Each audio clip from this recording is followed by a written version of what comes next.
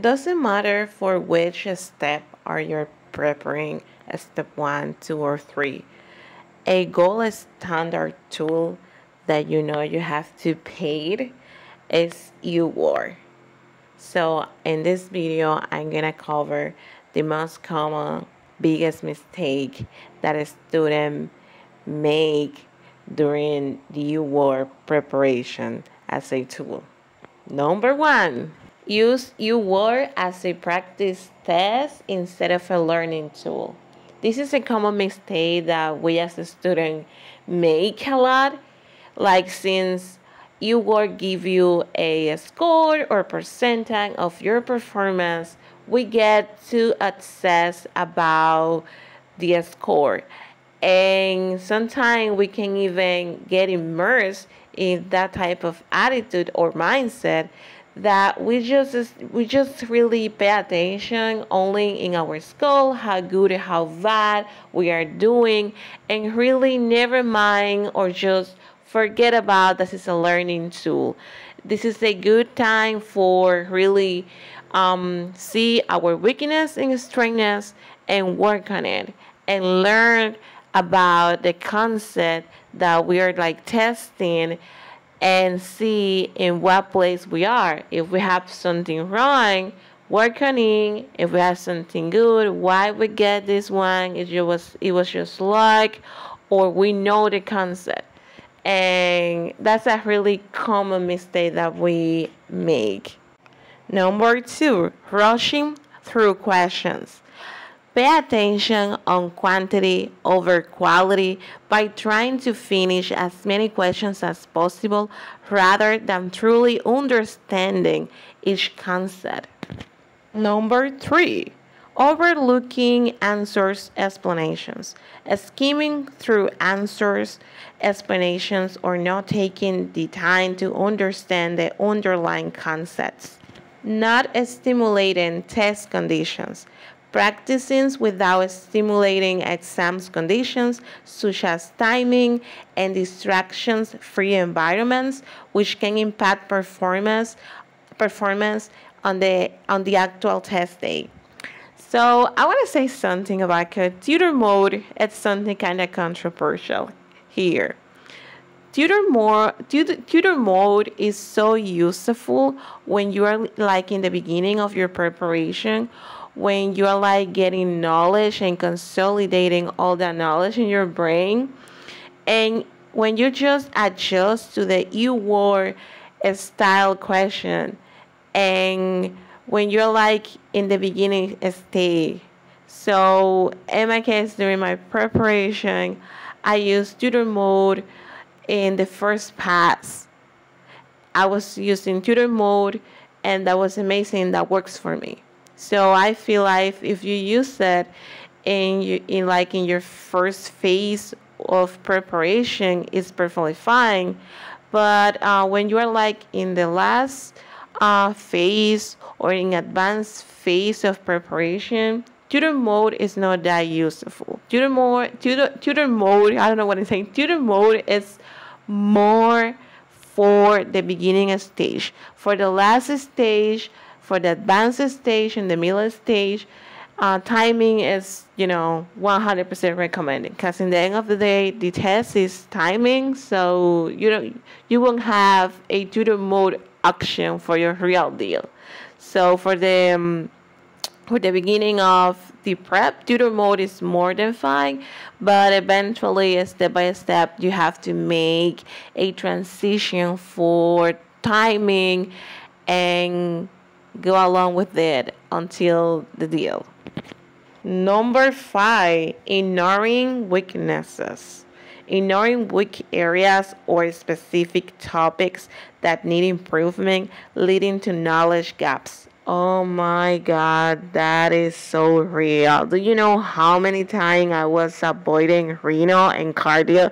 Because I and second until this day and they were my weakness areas for step one. And i was like i don't like cardio. I don't like renal. I don't want to do this. And i was like oh my god avoiding these topics for so long, and I knew it. I was really bad and and on on it. I was like I was I'm 100 percent, and when I I was like oh my god, because I was doing randomly, you know everything in you know in the middle of the prep for the second pass and more. I was like oh my god I I got a cardio question.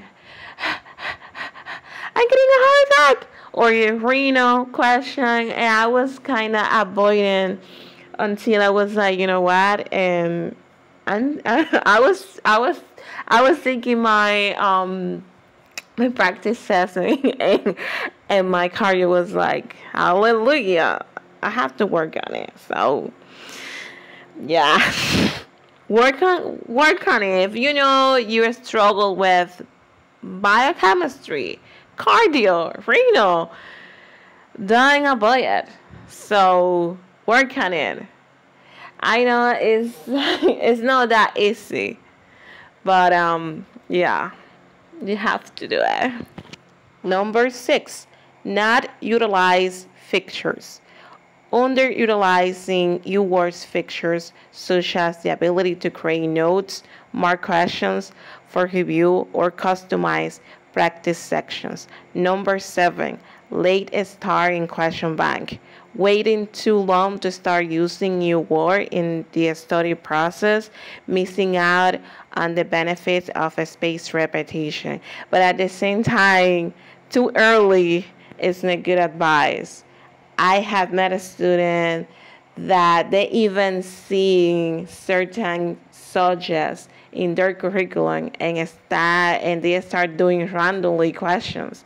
I have met people like they were taking biochemistry classes and they were doing excuse me sorry and they were doing um, cardio questions and they were taking biochemistry and they were doing randomly UWorld and getting questions from everywhere so if you haven't even see a subject. Why are you doing question from them? So what I recommend it if you integrate UWorld during your curriculum during the med school, if you're doing biochemistry, doing biochemistry, and so on.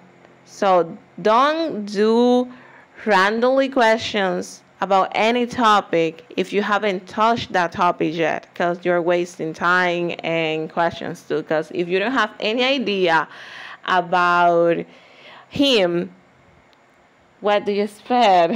So yeah, it's a it's a mistake that I I have met people that you know it was kind of trendy. Like I'm doing, I'm taking biochemistry classes, as I said, but I'm doing randomly UWorld, and I'm getting questions from everywhere.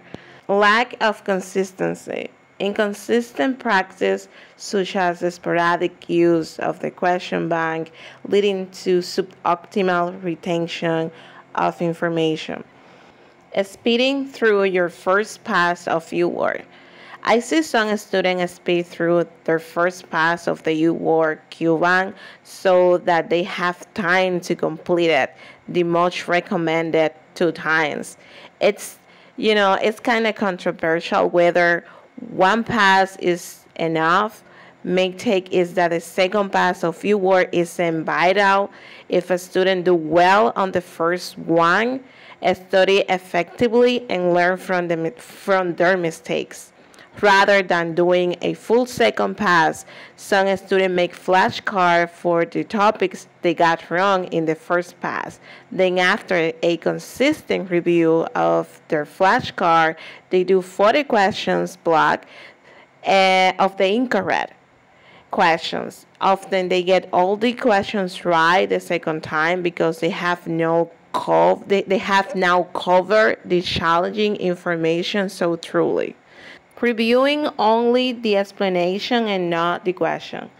When we get a question wrong, we just assume that we don't know the concept, that we have any lack of knowledge, and that's why we get that question wrong.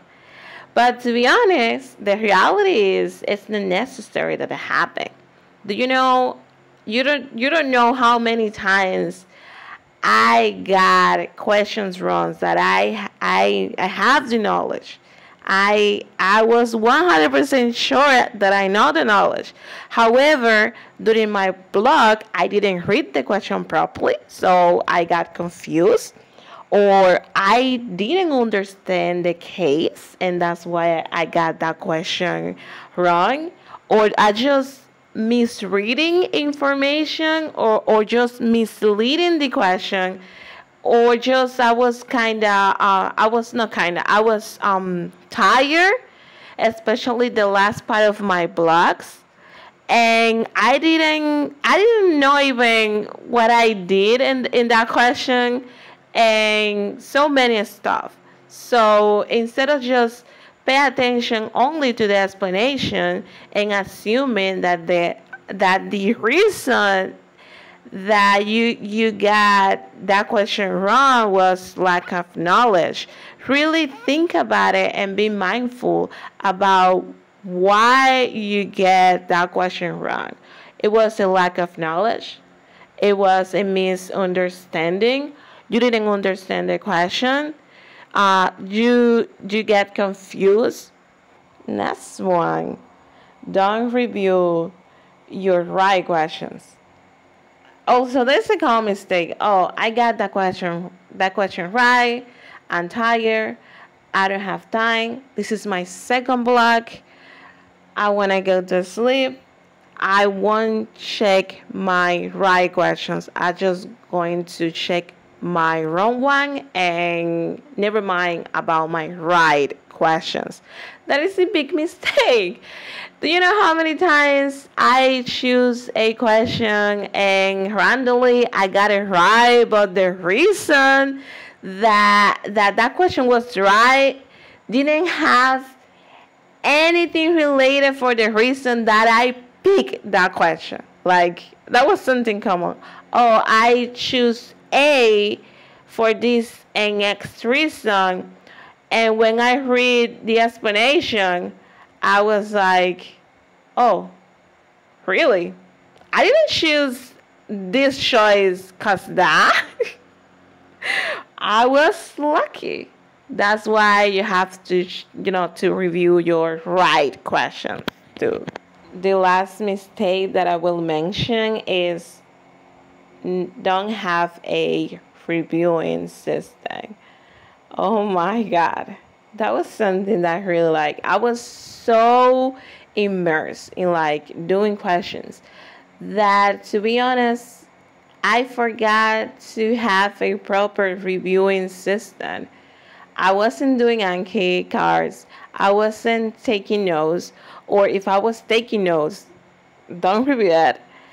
And I was so like neglecting my reviewing system and I was pay attention to understand the concepts, understand the questions, and understand the material. And I was doing so bad and neglecting my reviewing part. So, because in the end of the day, okay, you got a question right or wrong and you're making notes or you understand the concept and oh i gotcha i know the concept i have i have a good grasp of everything. But if you don't have any reviewing system a space repetition system you know what is going to happen? You will forget everything because there is a huge amount of material. And something that that is really common here is like you forget stuff. And if you don't have a reviewing system, you're gonna you're gonna be screwed. And I was. and I, I realized, oh, I don't have a reviewing, a reviewing system like a decent one because I was taking notes, but to be honest, I didn't review it. So I I'm making effort and I was really taking seriously my Anki cards and my notes. And I was making sure that was like a space repetition was part of my life. And that's it for this video. If you like this type of video, follow me here or uh, follow me here and on Instagram subscribe to my channel and see you next video bye